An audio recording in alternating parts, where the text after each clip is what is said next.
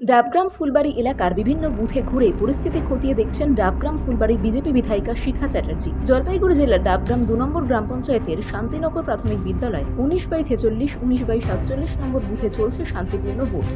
এই বুথটিও পরিদর্শন করলেন ডাবগ্রাম ফুলবাড়ির বিধায়িকা শিখা চ্যাটার্জি। এদিকে বুথের সামনে শিখা চ্যাটার্জি আসতেই তৃণমূল কংগ্রেসের গ্রাম পঞ্চায়েতের প্রার্থী সাগর মহান্ত পাঁচ হয়ে প্রণাম করেন।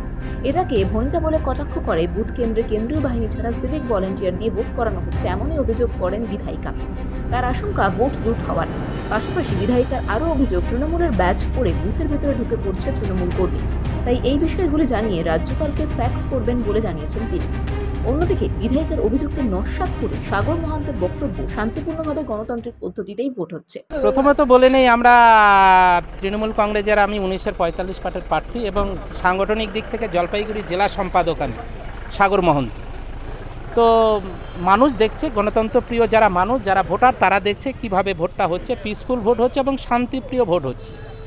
আর যারা গণতন্ত্রকে আগে থেকেই বিশ্বাস করেনি বা করে না, তাদের মুখ দিয়ে এইসব কথা বাড়াবে।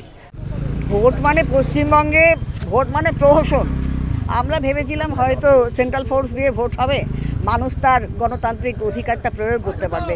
কিন্তু এখন দেখলাম ওই এক সিভিক ভলেন্টিয়ার যা অ্যালাউ হয় না। ইলেকশনে যেটা নাকি অ্যালাউ নেই যে যেটা গণতন্ত্র মানে অধিকারটাকে খর্ব করা এটা।